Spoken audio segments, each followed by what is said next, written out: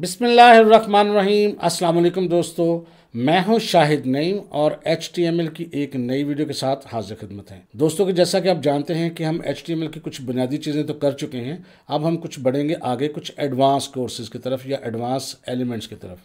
तो आज हम देखेंगे कि किस तरह हम अपना एक डाटा टेबल्स की फॉर्म में दिखा सकते हैं अपनी एक वेबसाइट पे। टेबल्स में डाटा दिखाने से मुराद होता है कि आप डाटा को रॉज और कॉलम्स के फॉर्मेट में दिखाएँ। ये कैसे मुमकिन होता है, ये देखेंगे हम आज की इस वीडियो में। लेकिन इससे पहले कि हम अपनी वीडियो का आगाज़ करें। तमाम वो दोस्त जो इस चैनल पर नए हैं, उनसे गुजारिश है कि अगर अभी तक आपने हमारे चैनल को सब्सक्राइब नहीं किया तो चैनल को सब्सक्राइब कर लीजिए और उसके साथ नज़र आने वाले बेल के आइकन पर क्लिक करना मत भूलें। इससे ये होगा कि हमारे दरमियान एक रिलेशनशिप इस्टेब्लिश हो जाएगा। जब भी हम कोई नई वीडियो अपलोड करेंगे, आपको उसका नोटिफिकेशन मिलेगा और आप उससे जल्द फ़ायदा उठा सकेंगे। अब बगैर तखीर के हम शुरू करते हैं अपना आज का मौजू।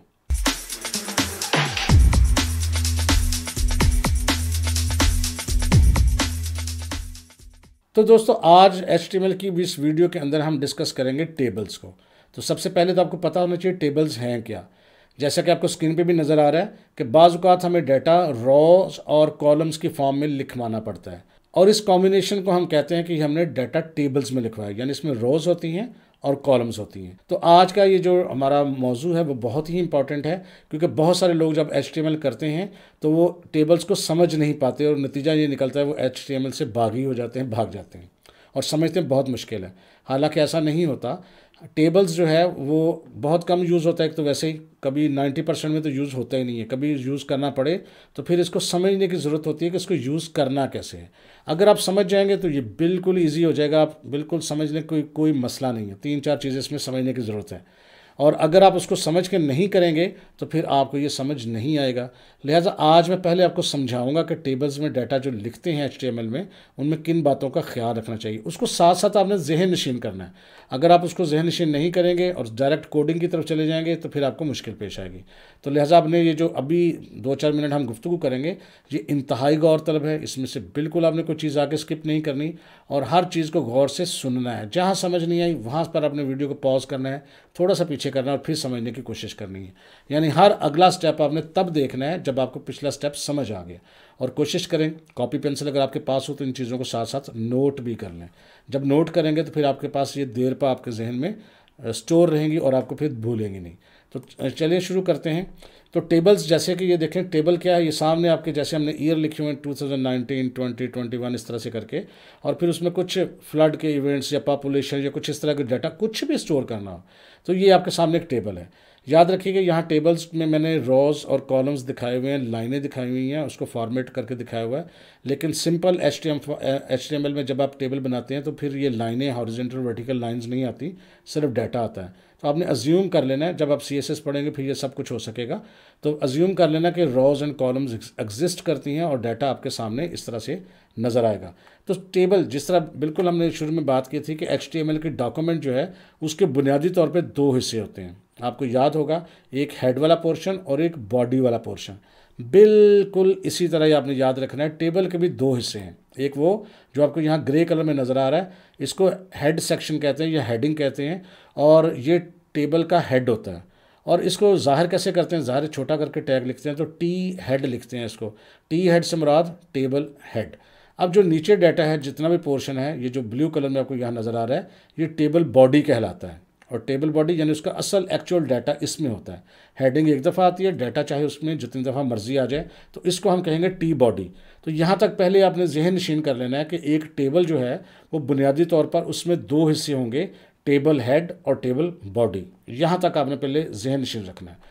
फिर जब टेबल हेड की बात करते हैं तो ये जो ऊपर एक लाइन है, इसको हम कहते हैं ये टेबल की रॉ भी है, यानी एक रॉ है। ये ईयर है, नंबर ऑफ़ फ्लड इवेंट्स हैं अफेक्टेड पॉपुलेशन है, ये क्या है? ये रॉ है।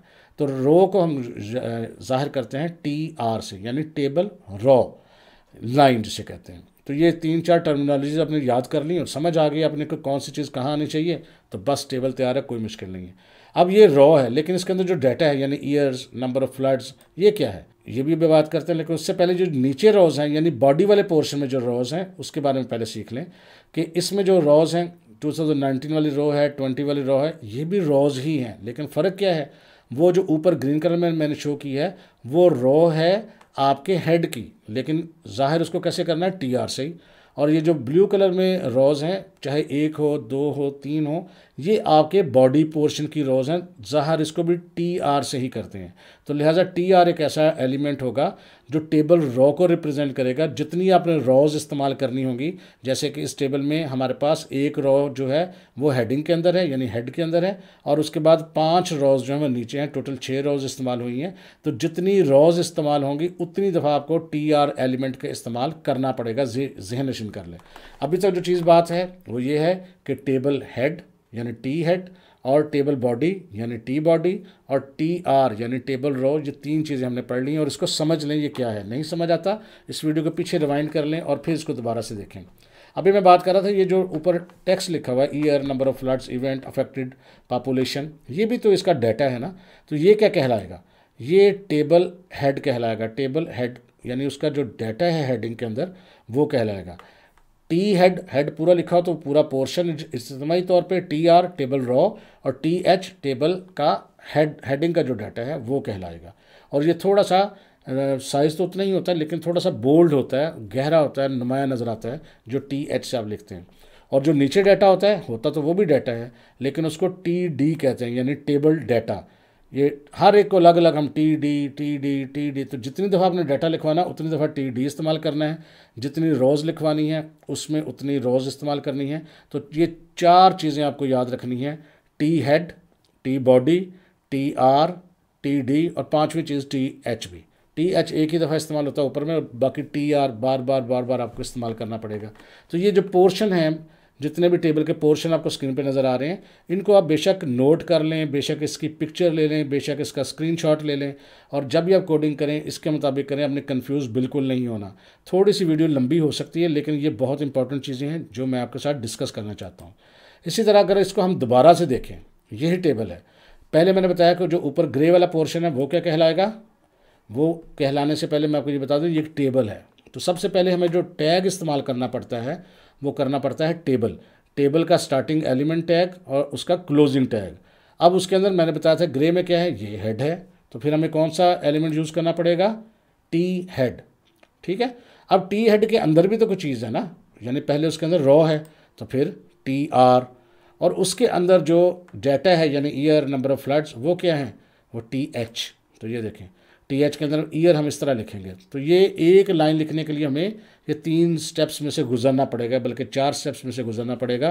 पहले टेबल डिफाइन करना पड़ता है, फिर टेबल हेड डिफाइन करना पड़ता है, उसके बाद टेबल रॉ डिफाइन करनी पड़ती है और फिर टी एच यानी टेबल की हेडिंग डिफाइन करनी पड़ती है।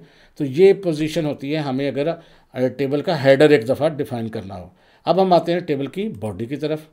अब हेडर को मैंने रिमूव कर दिया ताकि आपको कन्फ्यूज़न ना हो। टेबल की जो बॉडी है, उसमें क्या है? ये देखें, यहाँ से पोर्शन ग्रीन से लेके यहाँ तक जो एंड तक पोर्शन है, वो टेबल बॉडी है।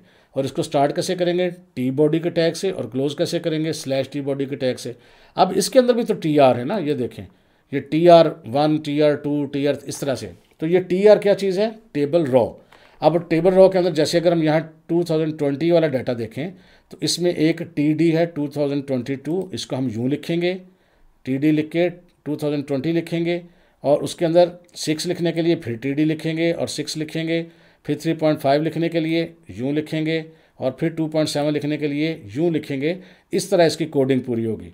इसको जहन नशीन कर लेना है। कोडिंग में जाने से पहले आपने इसको बिल्कुल जहन नशीन कर लेना और भूलना नहीं है। अब आगे चलते हैं थोड़ा सा। ये स्टेप्स हैं जी। टेबल को डिफाइन करने के स्टेप्स हैं। पहले क्या है? टेबल वाला टैग आएगा। क्लोज तो ज़ाहिर करना ही है। उसके बाद चूँकि हमने हेडर डिफाइन करना होता तो टी हेड हम जो है यूज़ करेंगे। फिर टी रॉ यूज़ करेंगे और फिर टी एच इस्तेमाल करेंगे। अब यहाँ पर टी एच क्या चीज़ है? टी एच है डाटा लेकिन टी आर क्या चीज़ है? पूरी की पूरी उसकी रॉ और टी एच क्या है जो उसके अंदर डाटा हम यूज़ करते हैं। तो याद रखिएगा, जो डाटा यूज़ करते हैं वो हेडिंग है टी एच से उसको रिप्रेजेंट करेंगे और चूँकि वो रॉ में लिखते हैं तो टी आर इसी तरह अगर बॉडी की हम बात करें तो उसमें क्या है? टी बॉडी से स्टार्ट करेंगे और टी बॉडी एलिमेंट उसका है, उसके बाद टी आर बिल्कुल टी आर वही चीज़ है जो टी आर हम हेडिंग में इस्तेमाल करते हैं। और टी एच की जगह फिर हम टी डी इस्तेमाल करेंगे जो नीचे आ रहा है। तो यहाँ पर टी डी कौन सी चीज़ है? जैसे ये डाटा अंदर आ रहा है। अब हम इसकी कोडिंग की तरफ़ चलते हैं और देखते हैं कि हम इसको कैसे आगे प्रैक्टिकली कर सकते हैं। कोड एडिटर मैंने खोल लिया है और यहाँ हम एक बनाएँगे नई फ़ाइल जिसमें हम टेबल्स बनाना सीखेंगे। तो उसके लिए क्या करेंगे? यहाँ फाइल्स पे क्लिक करेंगे और यहाँ पर न्यू फ़ाइल पे क्लिक कर लेंगे। वो नई फ़ाइल का नाम पूछेगा। इसका नाम हम रख देते हैं टेबल टेबल्स या टेबल जो मर्ज़ी रख लें एच टी एम एल उसकी एक्सटेंशन रखेंगे और एंटर प्रेस करेंगे। और सबसे पहले हम देंगे यहाँ इसका बॉयलर प्लेट कोड उसके लिए साइल नफ एक्सक्लेमेशन डाल के एंटर करेंगे। तो ये देखें आपके सामने आ चुका है। सबसे पहले हम क्या करेंगे, इसका टाइटल दे देते हैं। टाइटल में दे देते हैं टेबल डाटा जो आप बरल चाहें वो लिख दें। टाइटल के अंदर मैंने टाइप कर दिया टेबल डाटा उसके बाद हम जाएँगे अपनी बॉडी वाले पोर्शन के अंदर। अब यहाँ हमने बनाना है टेबल तो यहाँ स्टेप्स आप आपने गौर से देखने हैं। बिल्कुल भी परेशानी होना बस ध्यान से आपने इसको देखना है। तो सबसे पहले मैं यहाँ लिखता हूँ, टेबल, और टेबल का टैग आ गया तो ये हमारा इसके अंदर टेबल बनेगा, याद रखिएगा। अब मैंने बताया था टेबल के दो पोर्शन होते हैं, आपको याद होगा, और उसके लिए हम क्या करेंगे, नई लाइन पे आके एक दफ़ा लिखते हैं, टी हेड तो ये टेबल हेड यहाँ हम बनाएँगे, और उसके बाद टी हेड्स के नीचे यहाँ पर हम लिखेंगे, थोड़ा सा मैं फासला दे रहा हूँ, टी बॉडी और एंटर तो ये दो पोर्शन हमने बना लिए हैं। यहाँ पर मैं थोड़ा सा इसको ऊपर ले आता हूँ ताकि आपको नज़र आता रहे। ये देखें टेबल का एक पोर्शन था। उसके अंदर टी हेड यहाँ हेडिंग बनाएँगे हम और टी बॉडी के अंदर बॉडी लिखेंगे। सबसे पहले हम बनाते हैं यहाँ पर टी हेडिंग के अंदर। ठीक है जी? हम यहाँ पर लिखते हैं। अब पहले हमने रॉ बनानी तो टी आर टेबल रॉ अब इसके अंदर हमें बनाने हैं टी एच यानी उसकी हेडिंग बनानी है। हम क्या क्या बनाना चाहते हैं, उसको हम देखते हैं। देखते रहिएगा ज़रा। तो टी एच एंटर यहाँ हम लिखते हैं जी कोड कंट्रोल एंटर करके मैं नई लाइन पे आया। फिर टी एच लिखा।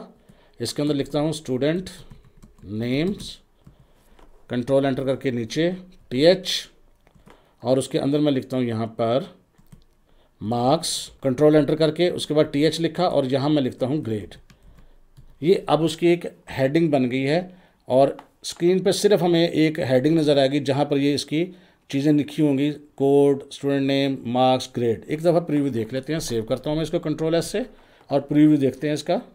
ये देखें जी, ये साथ साथ ही डाटा लिखा हुआ नज़र आ रहा है कोड स्टूडेंट नेम मार्क्स और ग्रेड अब हम इस पर मज़ीद काम करेंगे। अब बारी है जनाब टेबल बॉडी की। हम टेबल बॉडी में आ जाएँगे, यहाँ पर हम इसकी पहली रॉ लिखने लगे हैं। पहली रॉ लिखने के लिए हम क्या करेंगे? टी आर लिखेंगे एक दफ़ा। और ये पहली रो बन गई। अब इसके अंदर हमने डाटा प्रिंट करना है, यानी कोड प्रिंट करना है नेम प्रिंट करना है और मार्क्स और ग्रेड तो इसके लिए टी डी एंटर और यहाँ पर हम लिखेंगे कोड कोड हम कुछ भी लिख देते हैं, जैसे फ़र्ज़ कर हम लिख देते हैं G two three zero one ये हमने कोड लिख दिया कंट्रोल एंटर करके नया टी डी एंटर किया। इसमें लिखेंगे स्टूडेंट का नाम। फ़र्ज़ कर मैं यहाँ लिख देता हूँ, शाहिद और नईम एंटर प्रेस करते हैं। टी डी लिखा दोबारा। अब यहाँ पर हम लिखेंगे उसके मार्क्स फ़र्ज़ करें उसके मार्क्स में लिखता हूँ सेवन एट्टी और एंटर कंट्रोल एंटर करके टी डी लिख कर मैं यहाँ ग्रेड लिखूँगा। फ़र्ज़ करें, मैं यहाँ लिखना, लिख देता हूँ जी ए ग्रेड अब मैंने ये एक डाटा पूरी रो बना ली है। अब आपने जितनी भी रोज़ बनानी हो, आप चाहें तो दोबारा टाइप कर लें या चाहे तो इसको कॉपी भी कर सकते हैं। मुझे फ़र्ज़ करें पाँच रोज़ बनानी है तो मैं क्या करूँगा, इसको कॉपी करके पाँच दफ़ा पेस्ट कर लेता हूँ। लेकिन याद रखिएगा कंट्रोल सी से मैंने इसको किया है कॉपी और टी आर यानी टेबल रॉ के नीचे और टी बॉडी के अंदर रहकर मैंने इसको करना है। ये गलती करेंगे, अगर बाहर निकल गया तो गड़बड़ हो जाएगी। तो टी आर के नीचे और टी बॉडी के अंदर रहना है। मैं पाँच दफ़ा इसको पेस्ट करता हूँ। चार दफ़ा करूँगा, एक दफ़ा लिखा हुआ है। कंट्रोल वी एक दफ़ा कंट्रोल वी दूसरी दफ़ा कंट्रोल वी तीसरी दफ़ा और आखिरी दफ़ा कंट्रोल वी करके हम इसको कर देंगे पेस्ट अब मैं इसकी तब्दीली करूँगा, बार छोटा छोटा जल्दी जल्दी से करूँगा। यहाँ तेईस है तो तेईस लिख देता हूँ और यहाँ नाम मैं कुछ और टाइप कर देता हूँ जल्दी से और यहाँ मार्क्स भी मैं कुछ और टाइप कर देता हूँ जल्दी जल्दी। अब इसी तरह दूसरी रो हो गई, तीसरी रो में मैं तीसरा रोल नंबर लिखता हूँ, नाम लिखूँगा और यहाँ पर मैं कोई भी मार्क्स लिख देता हूँ और फिर आगे लिखता हूँ ग्रेड उसके बाद जनाब चौथे डाटे को जल्दी से मैं करूँगा चेंज यहाँ नाम चेंज करेंगे जी, और यहाँ उसके मार्क्स लिख देंगे हम, जो भी लिखना चाहें। ग्रेड चेंज करना चाहें, आखिरी लिखेंगे तेईस सौ पाँच, और यहाँ कोई भी नाम लिख देंगे हम, और यहाँ मार्क्स लिख देते हैं जी उनके कुछ भी, और यहाँ ग्रेड अब ये हम पूरा काम कर चुके हैं। अब हम इसको करते हैं एक दफ़ा सेव कंट्रोल एस से और प्रीव्यू चेक करते हैं। ये देखें जी प्रीव्यू में अब हमारे पास पूरा टेबल बन चुका है। कोड स्टूडेंट नेम मार्क्स और ग्रेड और याद रखें, जिस चीज़ को हमने टी एच से रिप्रेजेंट किया था तो वो वहाँ पर कोड स्टूडेंट नेम वो डार्क कलर में आया है। और जिसको हमने टी डी के साथ रेफरेंस किया था यानी ज़ाहिर किया था, वो नॉर्मल टेक्स्ट में आया तो हम ये भी कर सकते हैं कि बाजू का जैसे तेईस सौ एक है, तेईस सौ दो, तेईस सौ तीन, इसको भी हम बोल्ड करना चाहें तो फिर इसको भी हम टी एच कर सकते हैं। मैं जल्दी से करके दिखाता हूँ आपको। अच्छा एक काम की चीज़ मैं आपको और बता देता हूँ। आप चाहें तो इसको आपको समझ आ जाए तो अच्छी बात है, नहीं तो आप परेशान नहीं होंगे। आप चाहें तो इसको मैनुअली भी कर सकते हैं। लेकिन अब हमने चार, पाँच जगह पर ये टी डी की जगह टी एच करना ये देखें। तो बाज़ होता है कि हमें बहुत सारी जगहों पर बार बार एक चीज़ को चेंज करना होता है तो हम मल्टी कर्सर भी यूज़ कर सकते हैं। वो क्या करता है? ये देखें, टी और डी के दरमियान मैंने यहाँ रखा, और यहाँ पर मैंने आर्ट प्रेस करके यहाँ नई जगह पर मैंने यहाँ क्लिक कर दिया। जहाँ जहाँ मुझे तब्दीली करनी है आर्ट को प्रेस रख के मैं वहाँ वहाँ एक दफ़ा करता जाऊँगा, ये देखें आपके सामने। तो हर जगह एक कर्सर बनता जाएगा, ये देखें। जहाँ जहाँ भी मैं करना चाहता हूँ, वहाँ वहाँ मैं एक दफ़ा ये क्लिक करता जाऊँगा, हर जगह कर्सर बन गया। अब मैं क्या करूँगा? किसी एक जगह तब्दीली करूँगा तो हर जगह हो जाएगी। ये डिलीट किया और यहाँ मैं एच लिख दिया, ये देखें। तमाम की तमाम लाइनों में पहली जगह पर एच आ चुका है। तो ये काम को स्पीड अप करने का एक तरीका है। तो बात जहाँ भी क्लिक करेंगे तो सब के सब तब्दीली हो चुकी होगी। अगर आपको ये इजी समझ आ जाए, ठीक है, नहीं समझ आए तो फिर मैनुअली भी कर सकते हैं। कंट्रोल एस करके प्रीव्यू देखते हैं। अब आप गौर करेंगे अगर तो तेईस सौ एक, तेईस सौ दो, ये जो उसका कोड था वो डार्क हो चुका है बोल्ड हो चुका है। ये किस वजह से हुआ है? जो हमने अभी टी डी की जगह टी एच को इस्तेमाल किया है। इसी तरह एक और छोटा सा काम करते हैं। हम टेबल हेड के अंदर, यहाँ पर टेबल हेड के अंदर उसके शुरू में, यानी टेबल और टेबल हेड के दरमियान हम एक और काम करते हैं। यहाँ एक और चीज़ इस्तेमाल करते हैं, उसका नाम है कैप्शन कैप्शन लिख के एंटर प्रेस किया। ये हेडिंग के लिए होता है जी। ठीक है, यहाँ पर मैं लिख देता हूँ स्टूडेंट्स ऑफ़ क्लास नाइन्थ जो मर्ज़ी आप लिख दें, आपकी मर्ज़ी है। ये मैंने एक हेडिंग दे दी है। कंट्रोल एस किया। आप प्रीव्यू में देखें, क्या तब्दीली आई है। अब देखें, ऊपर एक हेडिंग बन गई स्टूडेंट्स ऑफ़ क्लास नाइन्थ ये जो आपके साथ यहाँ caption students of class nine heading दी है कैप्शन का मतलब होता है कि आप टेबल के टॉप पर क्या लिखना चाहते हैं। एक छोटी सी चीज़ मैं आपके साथ और शेयर करना चाहता हूँ। कभी कभी ज़रूरत पड़ने पर आप उसको इस्तेमाल कर सकते हैं। फ़र्ज़ करते हैं, यहाँ पर टेबल जो हेडिंग है, उसके अंदर मैं ये तीसरा जो है टी एच इसके अंदर एक ऑप्शन मैं यूज़ करता हूँ। कॉल स्पेन कॉल स्पेन के आगे मैं यहाँ लिखता हूँ टू इसका मतलब ये मैं कॉलम को एक्सपेंड करना चाहता हूँ दो कॉलम्स तक। यानी ऊपर जो हेडिंग है मेरी, वो नीचे दो कॉलम्स के डाटे को कवर करेगी। यहाँ तीन भी लिख सकता था, दो भी लिख सकता था, चार भी लिख सकता था। तो अगर ये ज़रूरत पड़े, कभी ज़रूरत ज़िंदगी में आपको पड़े तो आप इसको कर सकते हैं। मैं सिर्फ़ दिखा रहा हूँ आपको।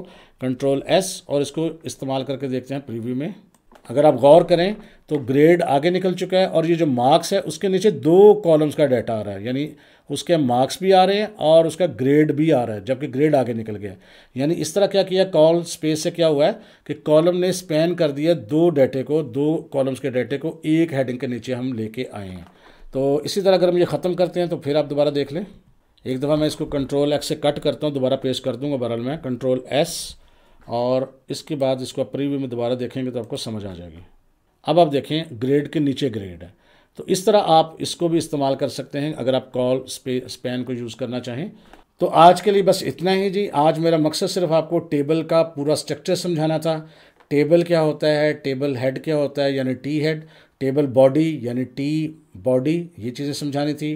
टी आर क्या था, यानी टेबल रॉ टी डी क्या था, यानी टेबल डाटा और टी एच टेबल हेडिंग इन चीज़ों को आपने याद पाँच चीज़ें हैं। इनकी तरतीब याद रखनी है, कैसे यूज़ करना है।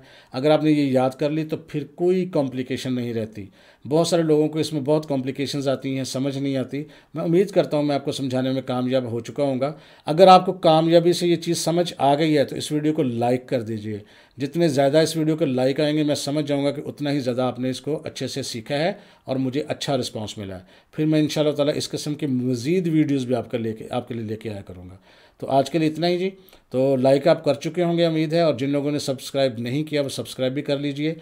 इन ताला मुलाकात होगी नेक्स्ट वीडियो में कुछ नई चीज़ों के साथ। तब तक के लिए इजाज़त दीजिए। अल्लाह हाफिज़।